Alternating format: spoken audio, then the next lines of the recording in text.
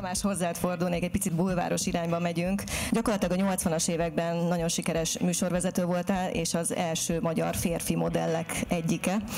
Ezt azért is hozom fel, mert hogy 1984-es Los Angeles-i ötkarikás játékokra ugye te mutattad be a formaruhát, és Tamás Ritával visszatértetek a Repülőgép Múzeumba, és reprodukáltátok ezt a sorozatot.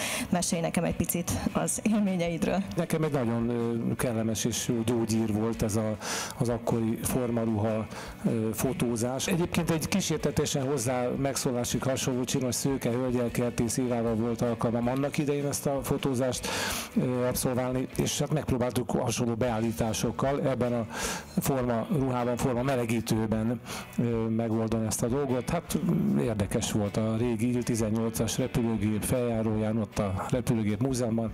Profi volt a Rita, külön köszönöm neki. Na de mennyit a múltról, ez, ez nagyon régen volt, már nem is emlékszem a pontosan részletekre. A lényeg az, hogy talán egy kicsit elérhetőbb, mert teljesen hétköznapi emberek vesznek részt az atlétikai, triatlon, kerékpár és egyéb versenyeken 40-50 pluszosokként is, úgyhogy nekik próbálok én magam is Ritával együtt példát mutatni, hogy akár a nulláról kezdve, én például a triatlon, az úszást a nulláról kezdtem, és számomra az a legnagyobb kihívás, hogy, hogy te is ebben a korban már az úszást megtanulni nem könnyű dolog.